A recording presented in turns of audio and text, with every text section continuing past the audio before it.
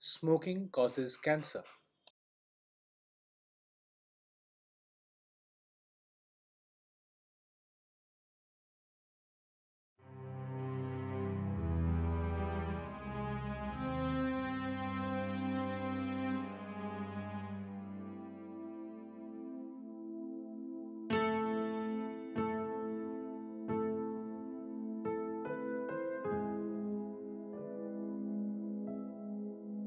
Dear colleague, I have translated your work and communicated it to Zeitschrift für Physik for publication. It signifies an important step forward, and I liked it very much. In fact, I find your objections against my work not wholly correct. For Wien's displacement law does not assume the wave undulation theory and Bohr's correspondence principle is not at all applicable. However, this does not matter. You are the first to derive the factor quantum theoretically, even though, because of the polarization factor 2, not wholly rigorously. It is a beautiful step forward. With friendly greetings, yours, Albert Einstein. Professor Satyendranath Bose is one of the legendary physicists of the 20th century, immortalized not only by coinages like Bose statistics, Bose Einstein condensation, and Higgs boson, but half of the fundamental particles are named after him bosons. He is indeed a Renaissance man, a patriot, and a polyglot.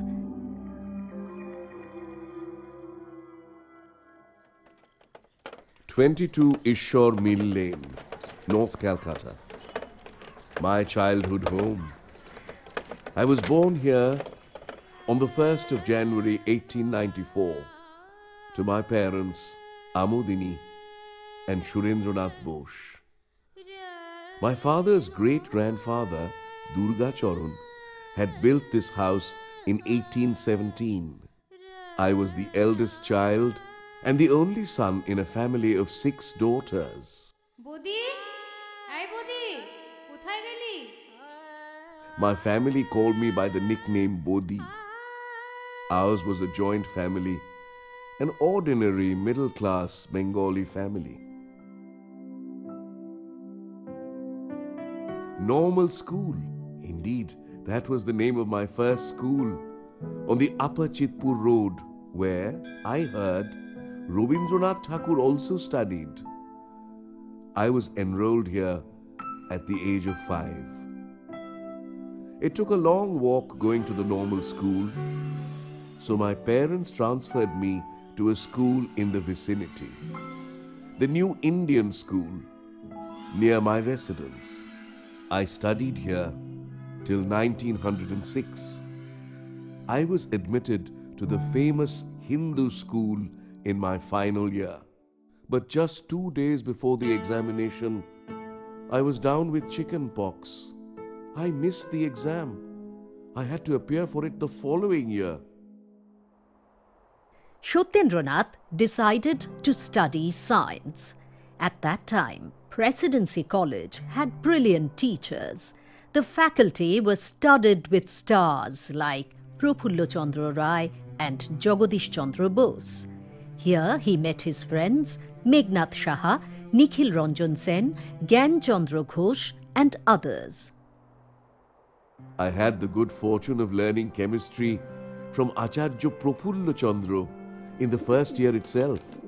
But it was only after two years that I had the opportunity to study under Jagadish Chandra. I shall never forget those days. Most memorable were the times when he talked about electrical waves with demonstrations using his own instruments. After completing my BSc, I joined the mixed mathematics class. Since I was more inclined towards theoretical science.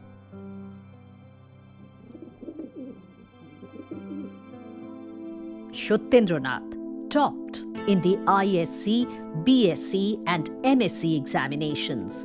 In fact, his marks in MSc examination is still a record.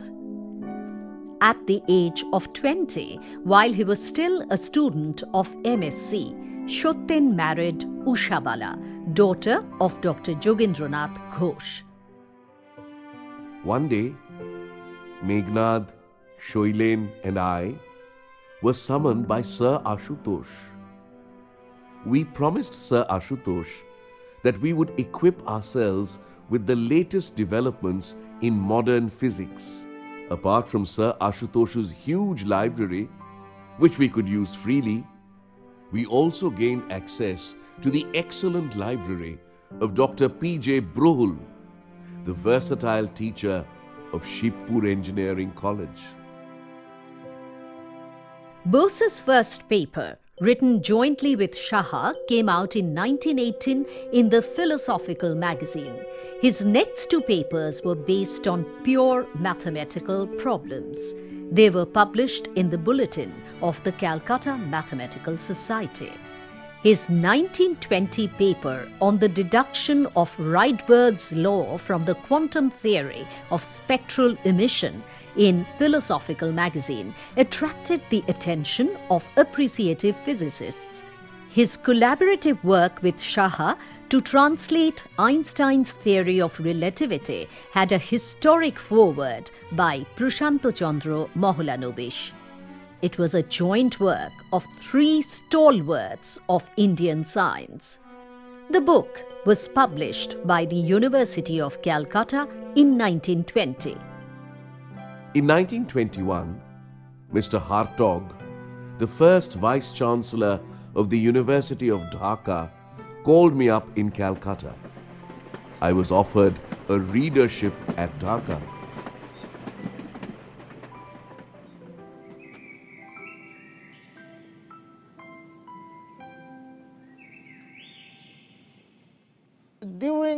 Course of lectures on thermodynamics to the MSc students, Bose uh, found that uh, there was uh, a problem in the derivation of the Planck's black body radiation law.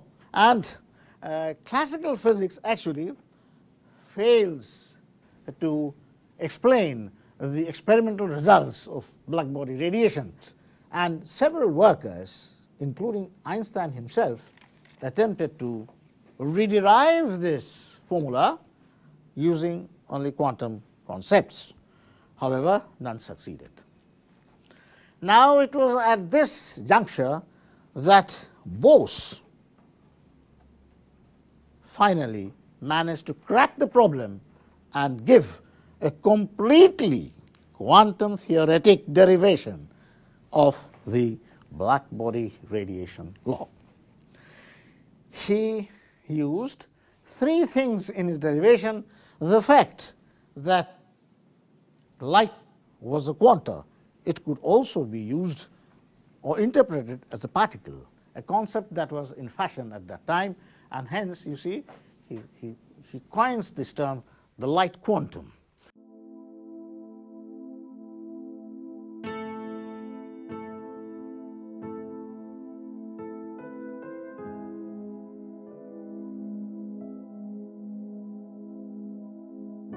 Again, on 15th of June 1924, he sent the second paper to Einstein.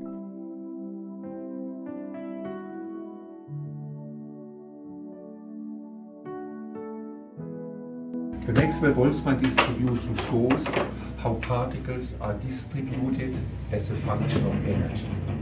So there's a broad distribution and the lower the energy is, the higher is the probability to find particles. Now, when the gas is cooled down, everything shifts to lower energy because lower temperature implies lower energy, and then the distribution gets shifted and looks approximately like this. But this is just the rescaling of the Maxwell-Boltzmann distribution. There is nothing really dramatic. The dramatic change came when Einstein applied Bose's concept to that situation. So let me plot again the number of particles versus energy. And at high temperature, Einstein obtained the result of Maxwell-Boltzmann distribution, which I discussed earlier. But now, when the gas is cooled down, there is again a shift towards lower energy, and the distribution gets a little bit sharper, but I can't draw it so accurately to show that. However, when you now cool to a little bit lower temperature, there is a phase transition, there is a sudden change where the distribution suddenly has this huge spike. This huge spike is a macroscopic population of particles in the lowest energy state, which in a gas is the state of zero velocity. So this spike here is called the Bose-Einstein condensate.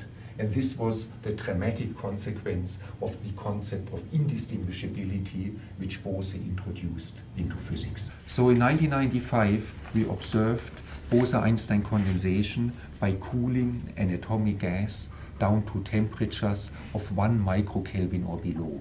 So we had reached absolute zero to within a millionth of a degree. And when we, then measured the velocity distribution of the gas, we observed the following. What you see here is the broad distribution I explained earlier, the thermal distribution of a normal gas. But when we lowered the temperature, suddenly there was this sharp spike. This is the Bose-Einstein condensate. These are the atoms which are at rest, which are all in one quantum state. In India, the first Bose Einstein condensate in optical traps was achieved by Professor C.S. Unnikrishnan and his team at the Fundamental Interactions Laboratory of Tata Institute of Fundamental Research in 2007 by using magnetic fields and lasers to cool atoms to an extremely low temperature just above minus 273.15 degrees Celsius or nearly absolute zero. Dhaka University granted two years study leave for SN Bose to spend in Europe with an advance fund of rupees 13,800.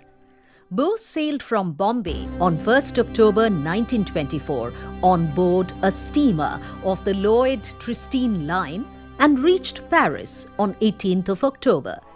In Paris, Bose put up at 17 Rue du Sommerard a building which housed the Indian Students Association. Bose's main interest seems to have been to visit the modern laboratories of Europe, particularly specializing in radioactivity and X ray crystallography. Dear Mr. Hartog, received your kind letter of the last mail. I am at present working at the X ray laboratory of Maurice de Broglie. Madame Curie also has given me hopes of allowing me facilities for work in the Radium Institute from the beginning of the next year.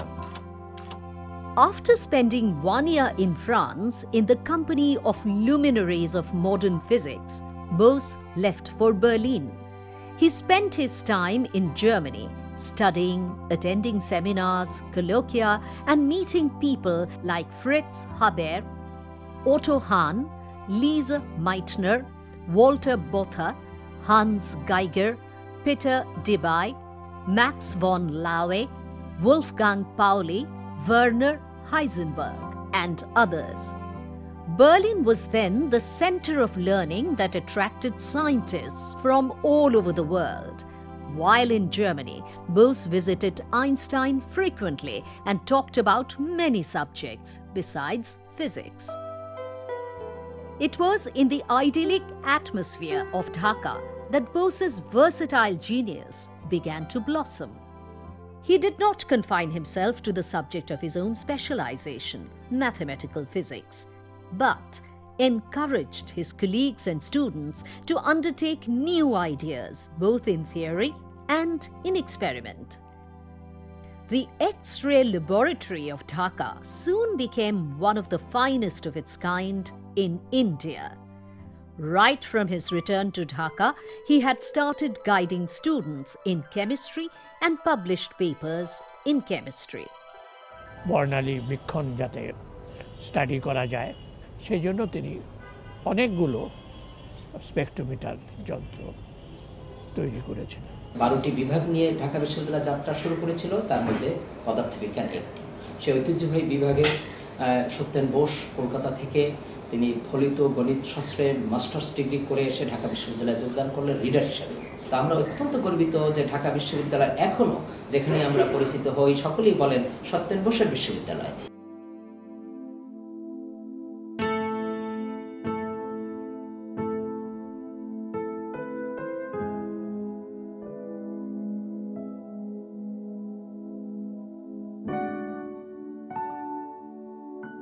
তার মৃত্যুর পর ঢাকা বিশ্ববিদ্যালয়ের syndicate সিদ্ধান্ত নেন যে অধ্যাপক বোসের নামে একটি সেন্টার তারা স্থাপন করবেন তখন থেকেই যাত্রা শুরু হয় এই Satyendranath Bose advance study in research in natural sciences He was provost of the Dhaka Hall. He had to preside over all cultural and other events of the hall. But in 1945, he resigned from Dhaka University and joined Calcutta University as Khaira Professor of Physics.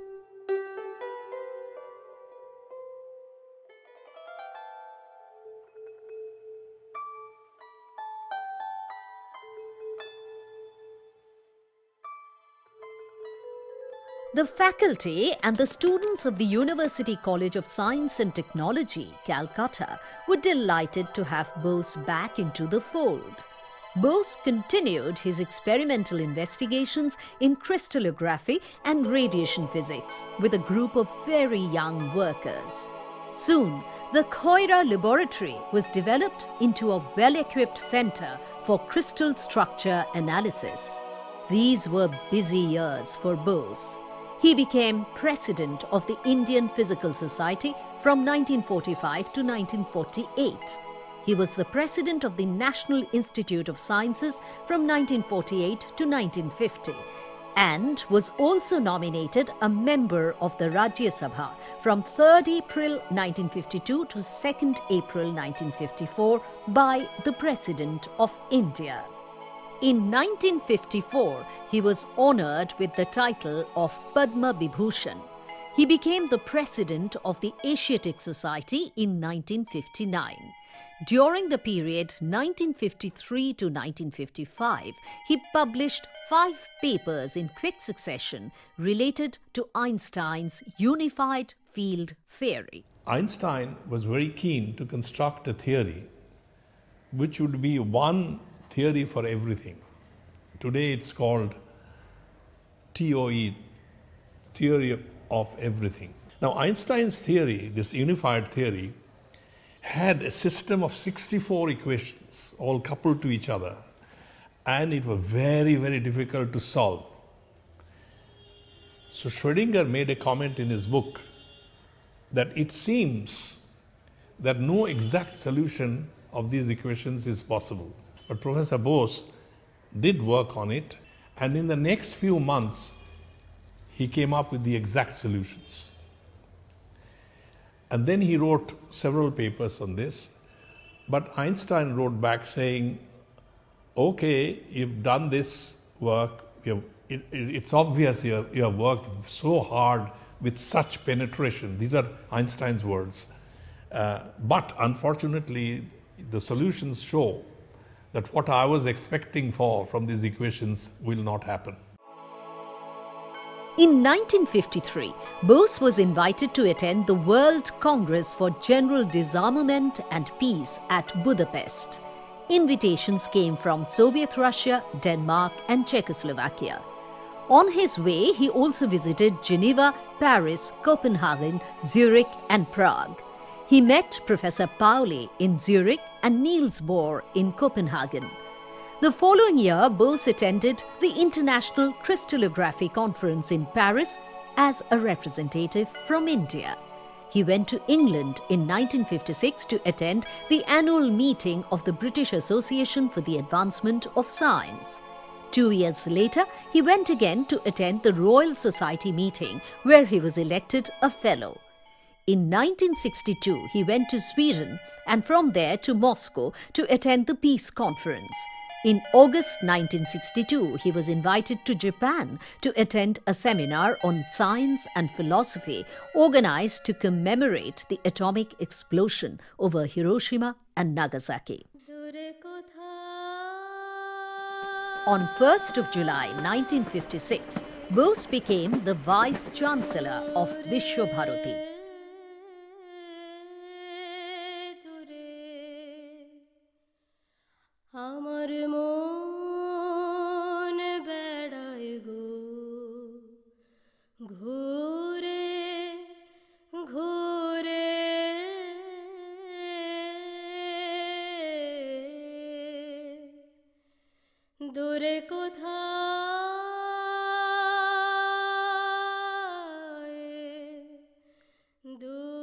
So Satyen Bose believed in Tagore's vision at Shantiniketan.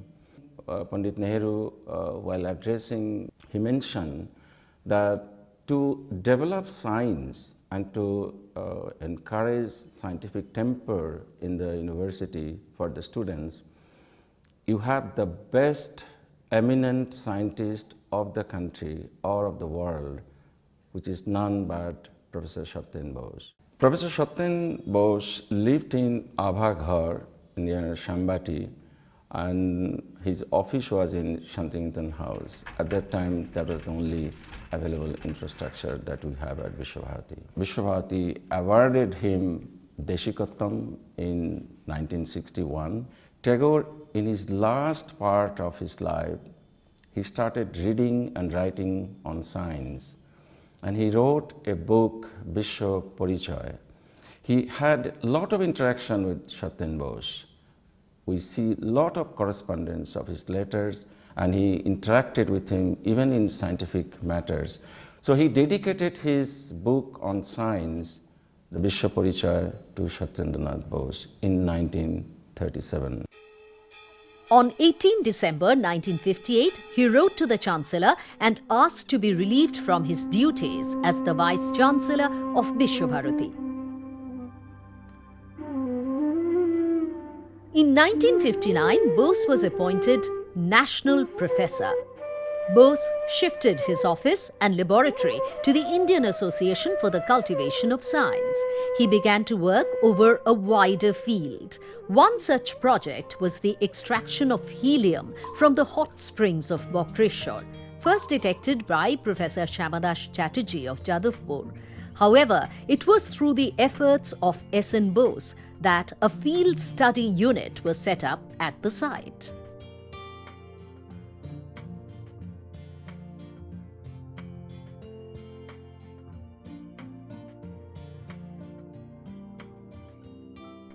I always strongly advocated the study of science in one's own mother tongue.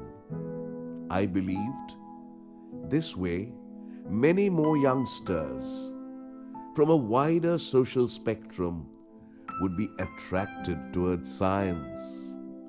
My dream was partially realized when, with this very objective to promote and popularize science through Bengali, I could establish the Bongio Bigyan Parishad in 1948. The Parishad organized conferences and seminars and arranged exhibitions and lectures rather successfully.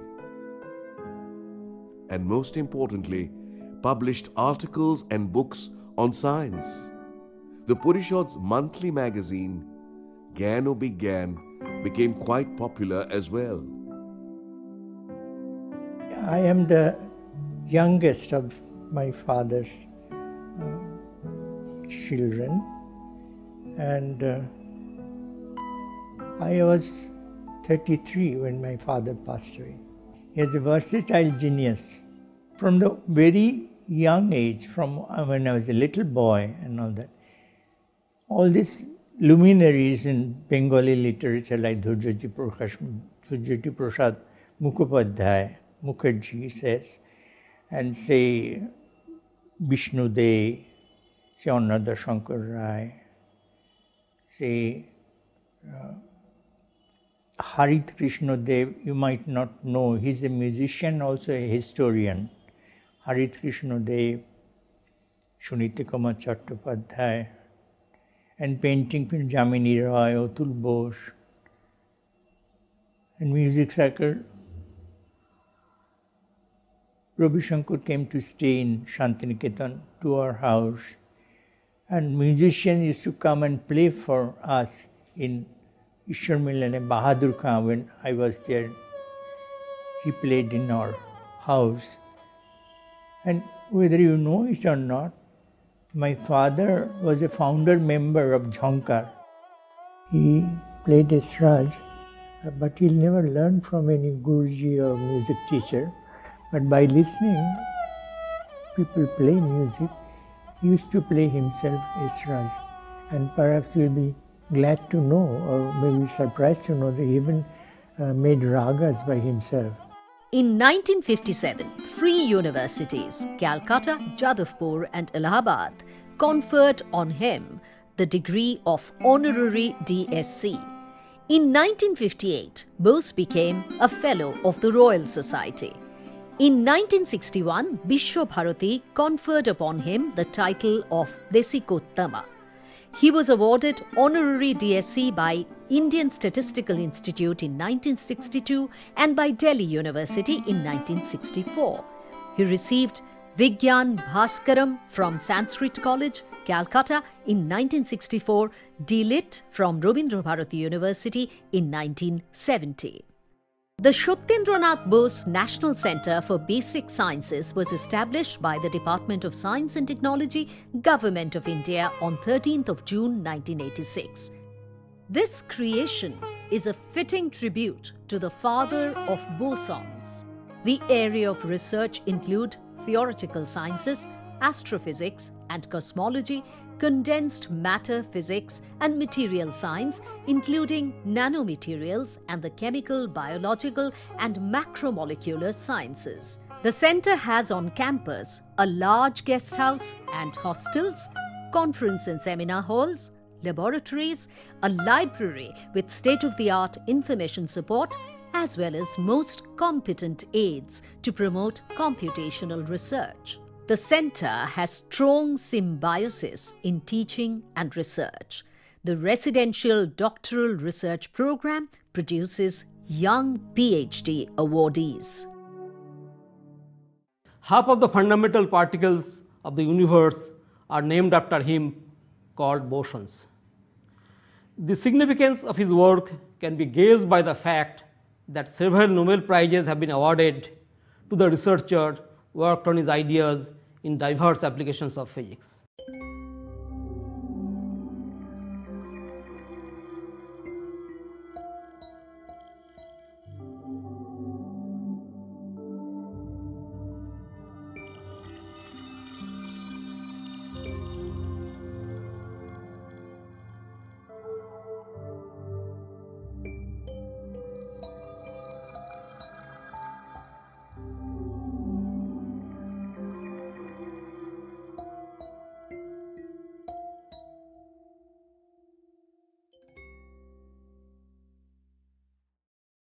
In 2001, I received the Nobel Prize in Physics for the experimental realization and studies of Bose-Einstein condensates.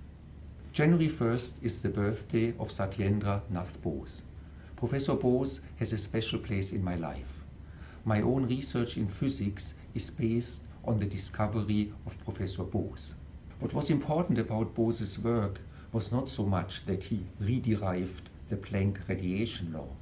What was much more important was the fact that he introduced the concept of indistinguishability into physics. When particles are indistinguishable, they are no longer independent. And this is a big new idea. This idea shaped the development of quantum mechanics. He died in 1974, but his ideas and his name will live forever in the textbooks of physics.